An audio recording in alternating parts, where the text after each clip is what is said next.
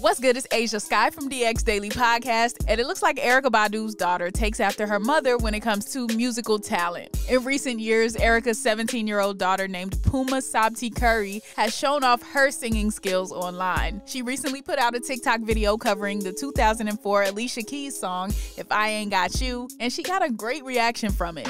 In fact, the video even caught the attention of Alicia Keys herself. Alicia reposted the TikTok to her own TikTok page, and she paired it alongside a video of of her reaction to hearing it.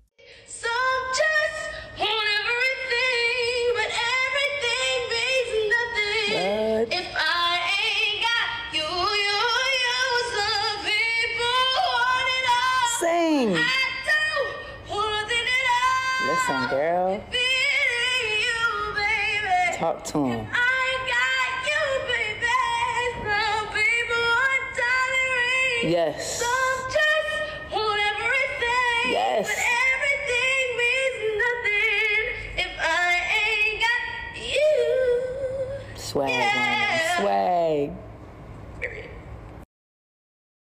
So, after hearing Erykah Badu's daughter's rendition of this classic Alicia Keys song, how do you feel about it? Did she do it justice, yes or no? Let us know in the comment section below. Also, be sure to subscribe and hit the notification bell. Subscribe to the DX Daily Podcast and keep it locked in to Hip Hop DX.